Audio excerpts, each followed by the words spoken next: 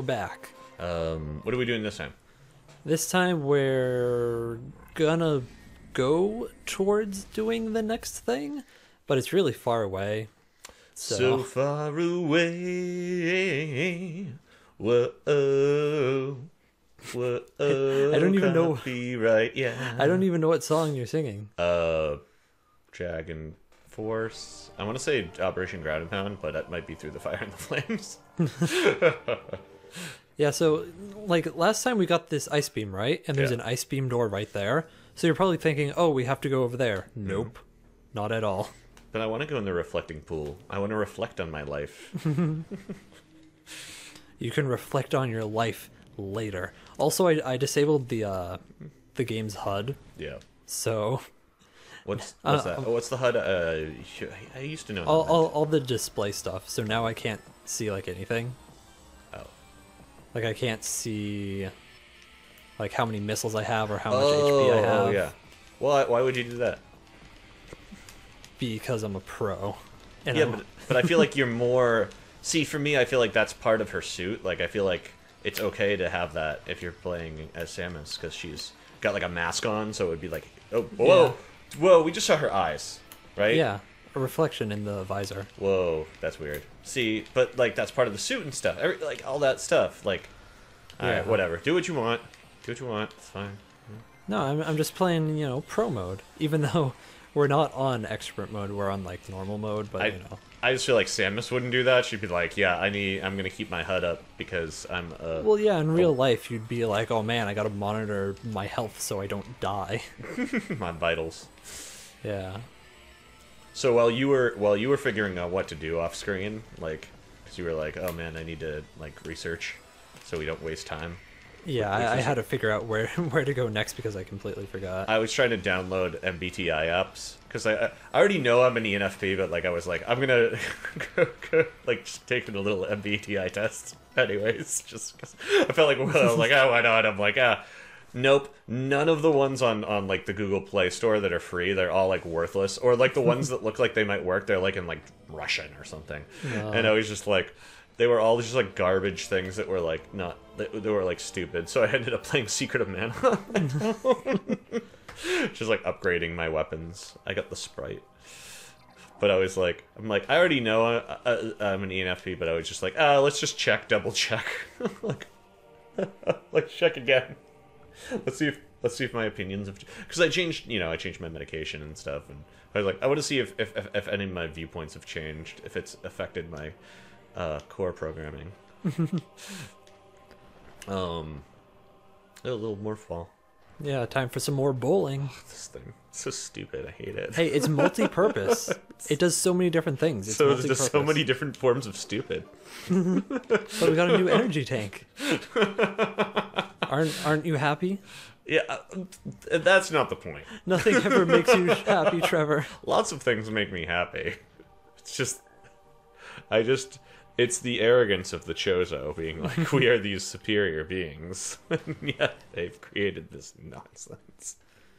Uh, If they just created it just for fun and just were like, hey, we're a bunch of goof offs who just decided to do this because we felt like goofing off and being silly, I could respect that. There's a certain level of like, but they're like, no, no, we're the Chozo, the chosen guardians of the galaxy. it's like they're acting more like the actual Guardians of the Galaxy from Marvel. Like, like Yeah, that that would uh, that would explain everything. yeah, I'm Um, I'm totally just morph balling my way through everything. Murph balling my way. The game is not meant to be played this way, but this is like the newest version, and they added the the jump ball. The So, jump ball. Hey man, if it helps speed things up, that's fine by me, man. Yeah, more speed running. Also, let's face it, if I had a morph I would roll around in that thing all the time. Yeah. Like roll in, roll in, roll in, keep those daggers rolling, ride. All right, so now we're back. Oh, these guys. Yeah, I'm just gonna ignore them this time. Yeah, Last time I had to fight them because I wanted to get the energy tank, but yeah. now now I just don't care. You you guys are just dumb. I don't care Throw, about you. throw, throw your hands in the air like you just don't care. Oh wait, I can't. I'm in a morph ball. I like this, even though once again it's so stupid. it's like so dumb. Is it a geyser? Is it a sewage valve? what was the point of I, this? I think it's like a hot spring or something. I can scan it if you really want to know what it is. No, I don't. Because the more I learn about it, the more disappointed I'm just gonna become. I had some friends who were like talking about like how like like Star Wars fans can get all up in arms about like the logic of Star Wars and like how it makes sense. I'm like, "Mm, all right, I love Star Wars, all right, but let's chill, people. It's laser swords and space wizards. We we can just love it for that. It's about triumphing over adversity and friendship and all that crap. It doesn't need to have airtight logic, all right. It's it's just Yeah, let's, that's- let's chillax. That's why it's um science fantasy. Yeah, or, or future fantasy or science fantasy. Like we don't need to like. Sorry, you were gonna say. Yeah, like it's it's not meant to make sense. Yeah, like it makes sense on a on maybe like a philosophical or an emotional level or Yeah. whatever, right? Or you know, like, but like we don't have to like get detailed and be like, oh man, every single like logical inconsistency. It's just like, can we just? Yeah, because if if we were like tearing apart its logic, I could I could easily just like the first movie I'd Yeah. I'd find like a million things wrong with it. I'd be like, Yeah. okay, you can't actually go light speed. Yeah. Uh, if you went light speed, you wouldn't be able to get here to here in less than like ten years. And then you got people who are like, well, actually, it's hyperspace, or they travel into an extra pocket dimension, and it's like, dude, can we just? Like, all right, can we? I, like, I love Star Wars. Like, I, I, I'm a huge Star Wars fan, but even I'm just like, dude, can we just like it for what it is and chill? Like, we don't have to, we don't have to justify. it. we don't need to, we don't need to be like, oh man. This is the most logical uh, thing in the world. It's just, it's just a cool story about good versus evil and crap. Like, let's Yeah. chillax. Hey, hey Trevor, hey Trevor, Yeah. midichlorians. Midichlorians don't even bother me. Midichlorians anger a lot of people. Don't bother me. I'm fine with midichlorians. It's a little space disease thing. Fine by me. A lot of people get angry about midichlorians. I'm cool with midichlorians. It makes it. It's fine. Doesn't bother me. A lot of people. You know what else doesn't bother me either? The uh, pod race. I like the pod race. I Pod- like the pod race too. Yeah, Yeah, a lot of that, that was like the coolest scene in the movie. I don't know if it's the coolest part, but I definitely like it. I, I, I definitely will say.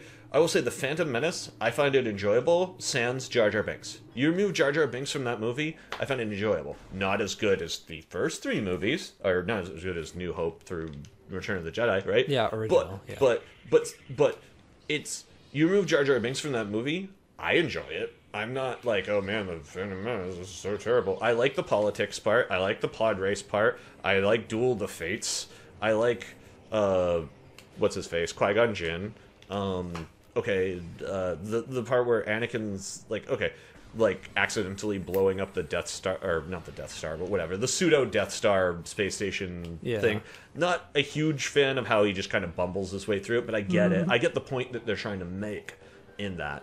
All right, it's a little childish, but then again, he's a child, so eh, fine. But I don't think it's as terrible as everyone makes it out to be. Um, but that being said, Jar Jar Binks does make me want to punch kittens, like so.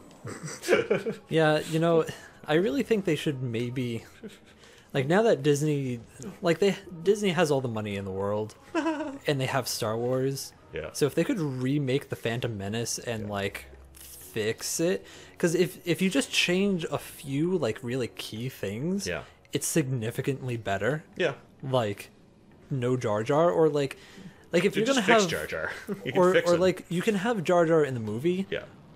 but like only have him be in the movie for like three minutes or something Yeah. ins- instead of like an hour. Yeah.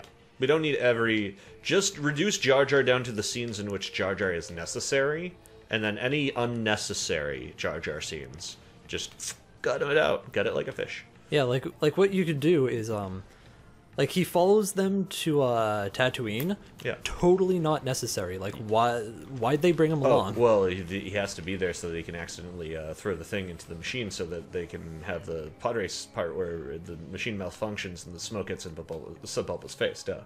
That- that's that's the airtight logic character, the, the, the psycho fan trying to justify Jar Jar's existence. No, no, we can cut him out of this. He doesn't have to go with them. We Yeah. could just have the, Yeah, the ship mount. A rock could hit it, and we don't have to have that scene with Jar Jar. yeah. a, a rock could hit it, or something could go wrong, or somebody else could mess it up. Make R two D two break it. I don't care. Yeah, just you know, change a few key things and then it's a better movie. But keep the music. Music's good. Oh yeah.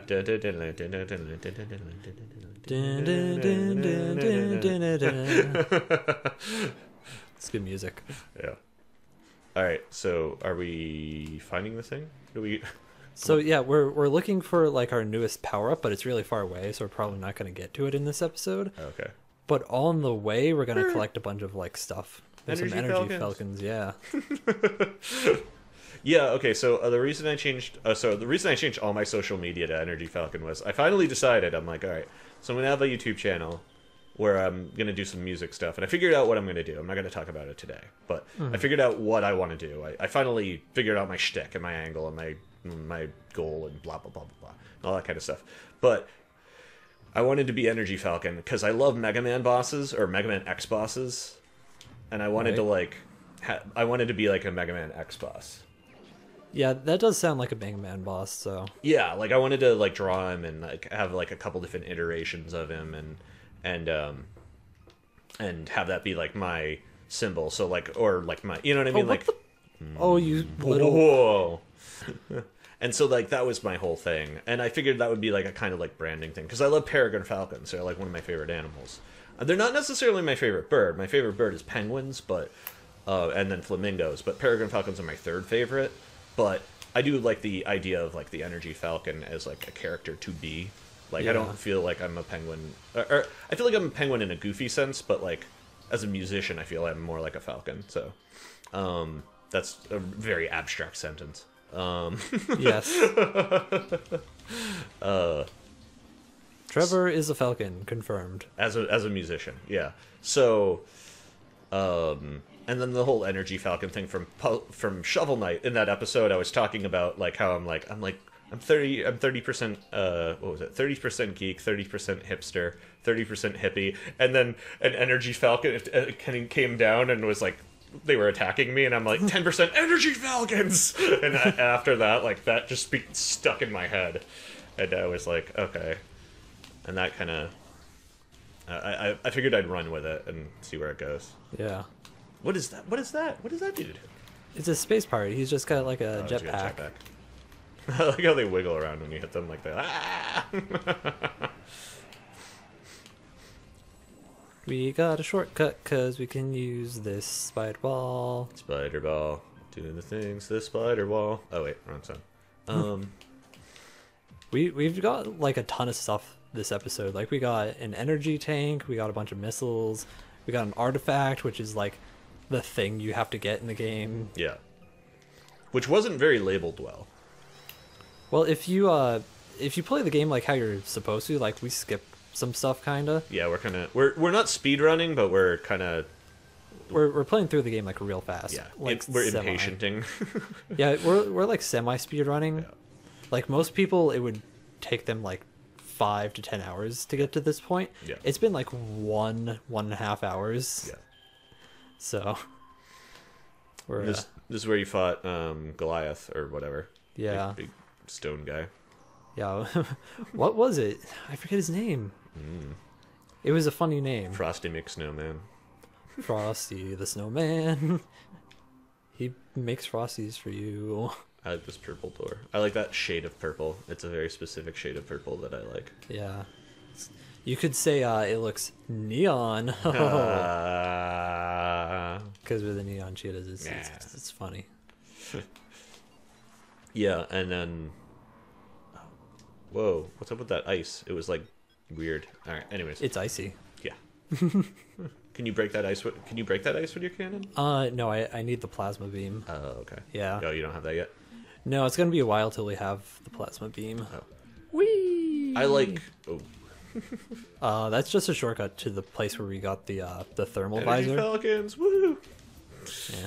I don't actually know what they were, but that they they were moving. Oh, the name of the Energy Falcons in Shovel Knight are called Birder. I had to look that up. Birder. Yeah, they obviously didn't. They weren't very creative with that name, Yacht Club. they were like, Well, you know, Hmm. you, you make an, an indie game and then you just sometimes you run out of ideas. yeah, I know. I just think it was funny. It was like Birder. Oh, there's Metroid oh, so cute. Mm, you froze. Oh, destroyed. I, I would like to do a playthrough of this game where you don't kill any of the Metroids and you just get them to follow you around everywhere. Well, you do have to kill Metroid Prime Oh. because it's the final boss. Anyways, we're we've uh we've stumbled into a new area, and we've been recording for a long time. So 50 minutes. You want to save? I'm not gonna save until I make sure the footage isn't corrupted like last time. Okay. Oh, yeah. All right. Yeah. See y'all next time.